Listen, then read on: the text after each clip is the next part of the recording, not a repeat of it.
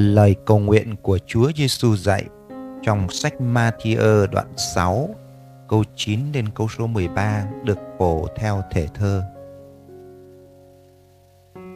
Lạy cha con ở trên trời, danh cha được thánh đời đời không phai.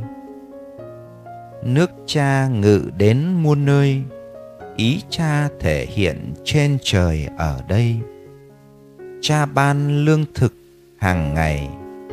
Thứ tha mọi tội con đây xin ngài. Con tha kẻ mất lòng ngay, cứu khỏi cám dỗ bùa vây quanh mình. Cứu khỏi kẻ ác khiếp kinh, vương quốc quyền bính quang vinh thuộc ngài. Amen.